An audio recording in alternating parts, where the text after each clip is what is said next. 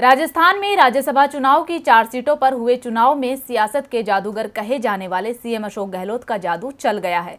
कांग्रेस ने चार सीटों में से तीन पर जीत दर्ज की है, जबकि राज्यसभा चुनाव के शुरुआती दौर में पार्टी बिखरी बिखरी नज़र आ रही थी। तो कैसे चला चुनाव में अशोक गहलोत का जादू? देखिए रिपोर्ट। राजस्थान में राज्यसभा चुनाव के नतीजे देखकर भारतीय जनता पार्टी हैरान रह गई है, क्योंकि चार सीटों पर चुनाव था। जिसमें से तीन सीटों पर कांग्रेस के उम्मीदवारों ने जीत दर्ज की है। तो वहीं एक सीट पर बीजेपी ने जीत दर्ज की है।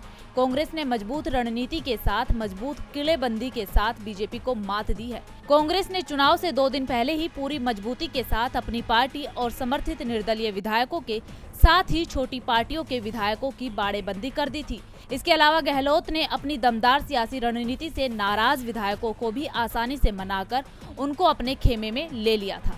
पहले कई विधायक पार्टी से किनारा करते नज़र आ रहे थे। वे समय के साथ धीरे धीरे गहलोत के सियासी जादू के चलते कांग्रेस की बाड़ाबंदी में आते रहे, जिसके बाद पार्टी जीत के लिए आश्वस्त हो गई थी।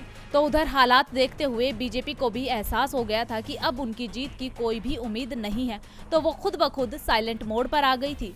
वहीं जीत के बाद सीएम अशोक गहलोत ने कहा कि ये शुरू से ही स्पष्ट था कि कांग्रेस के पास तीन सीटों के लिए ज़रूरी बहुमत है। लेकिन बीजेपी ने एक निर्दलीय को उतार कर हॉर्स ट्रेडिंग का प्रयास किया। हमारे विधायकों की एकजुटता ने इस प्रयास को करारा जवाब दिया है।